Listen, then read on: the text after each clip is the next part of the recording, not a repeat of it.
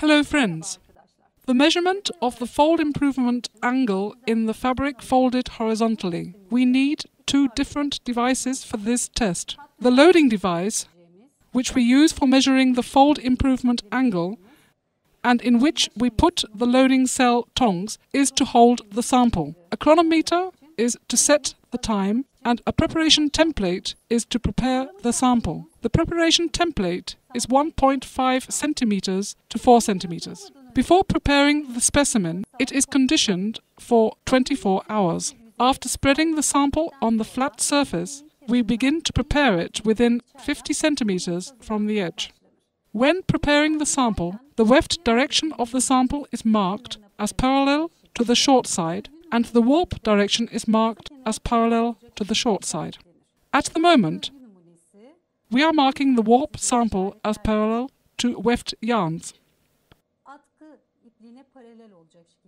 The sample is taken from different parts of the fabric so that it includes different weft and yarn warps. The sample taken must not be wrinkled.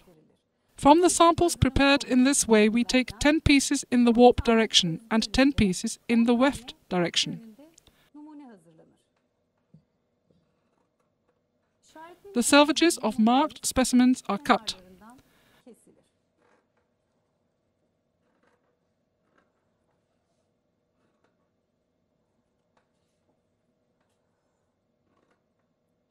From the weft and warp samples, the warp specimen sample is folded in a way that two halves of its front side become face to face.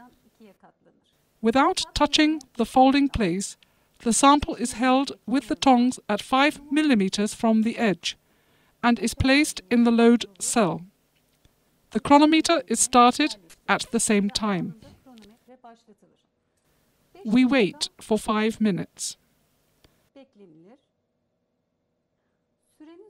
At the end of the 5 minute duration, it is held at 5 millimeters on one edge and placed between the clamps, whereby we measure the folding angle.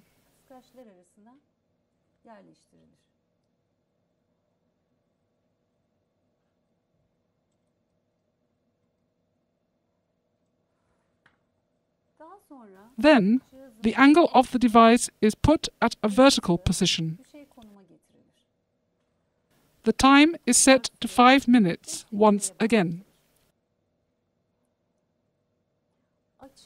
The gauge moves as the angle opens up.